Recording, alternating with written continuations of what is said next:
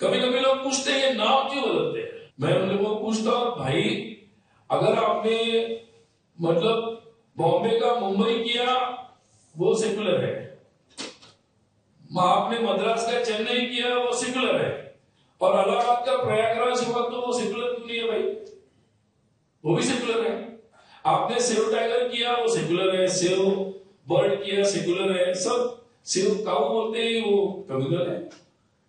ये ये जो है, ये किसी न किसी कंफ्यूज कोलोनाइज माइंड के कारण ये सब होता है। उससे मुक्त होकर लॉजिकल रैशनल सोच की आवश्यकता है कि हम क्या है और क्या हमें सोचना है।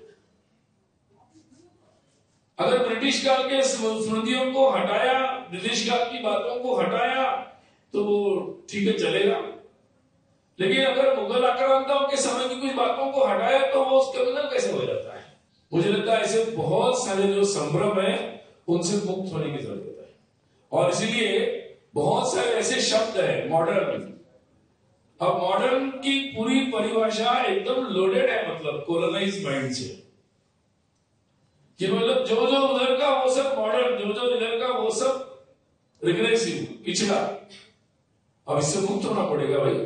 अगर मतलब मैं अगर कोई आयुर्वेद की दवा खाता हूँ और तो वो जड़ी बूटी वाली तो रिग्रेसिव नहीं है, वो मोस्ट मॉडर्न है। अगर मैं केवल नाक से अपना इधर से प्राणायाम करता हूँ तो वो भी मॉडर्न है। भले वो हज़ारों साल पहले से चल रहा होगा। तो कोई बात केवल वो हज़ारों साल पुरानी है, या वो केवल पूरब में जन्मी है, इसलिए वो रिग्रेसिव नहीं हो सकती, वो भी मॉडर्न हो सकती है। तो मॉडर्न का ठेका केवल कुछ देशों को या कुछ विचारों को नहीं मिल सकता। मॉडर्न एक यूनिवर्सल बात है। उस पर सभी का क्लेम है।